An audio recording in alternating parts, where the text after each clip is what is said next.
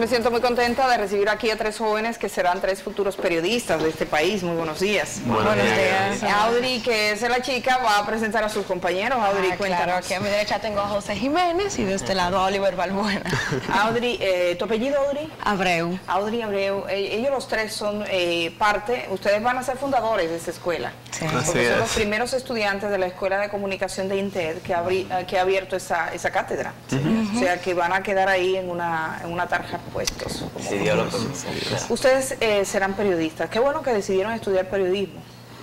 Y ustedes tienen una práctica en estos días eh, muy buena, porque van a entrevistar a los políticos que quisiéramos entrevistar a algunos periodistas y no nos dan Sí, sí, entrevistas. así es. Oigan eso, ellos tienen la entrevista, el presidente les va a dar una entrevista y a nosotros no nos la da. Sea que, haga- miren, ustedes un reto grande. Cuéntenos eh, a quiénes van a entrevistar, de qué se trata este proceso, este ejercicio que van a hacer. Ok, bueno, esta práctica que hemos asumido allá en Intec se llama, es un programa de radio eh, que va a estar siendo transmitido a través de la aplicación, la página web que tenemos. Se va a llamar Encuentros en Radio Intec. Eh, vamos a entrevistar a líderes políticos durante el mes de noviembre. Tenemos cuatro fechas confirmadas. Van a ser todos los miércoles de noviembre. El miércoles 7 tenemos a Luis Abinader. Eh, miércoles 21 tenemos a Hipólito Mejía.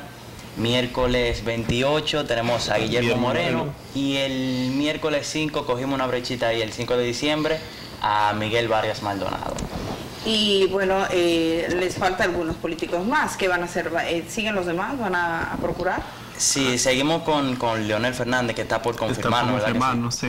Porque algunos han tenido que mover. Leonel con el reciente cargo que asumió. Exacto, eh, se movió. se movió, sí, no pudo ser para la fecha que tiene establecido y seguimos buscando para tratar de llenar el hueco que tenemos entre el día 14. O sea, Exacto. queremos, queremos encontrar otra personalidad. Ya, ¿y el presidente de la República? ¿Qué tal? ¿Han logrado? ¿Qué, qué le han dicho?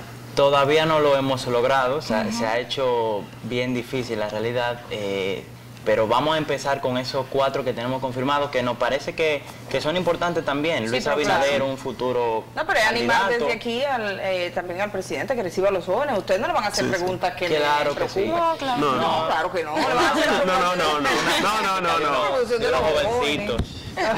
Y de la preparación suya, claro. No, yo no, no digan que yo les preparo, entonces se puñe. Entonces, eh, ¿cuántos estudiantes son ustedes que están en esta práctica? Dentro de la práctica estamos todos involucrados, los de la carrera, sí. porque no simplemente trabajamos los entrevistadores, tenemos equipo de producción. Muy bien. Nosotros somos los que desarrollamos el programa. O sea, desde el programa va completamente de los estudiantes. Así es. Hay equipo de producción, fotografías, redes sociales, entrevistadores. Y son muchísimos cargos, todos nos encontramos trabajando. Actualmente tenemos... ¿Cuántos entrevistadoras? Eh, son cinco que se Ya, van dividiendo de dos en dividiendo. dos a entrevistar a los Es políticos. un programa de radio. ¿Les gusta la radio? Ah, Claro. Eh, la, la emisora, ¿cómo se llama la emisora de ustedes de Intet? Radio Intec.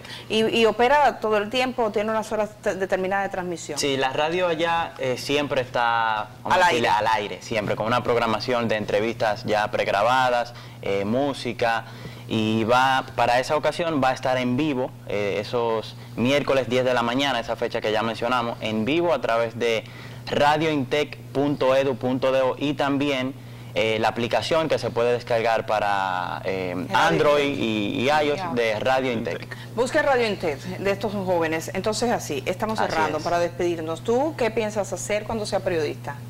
¿Radio, prensa o televisión?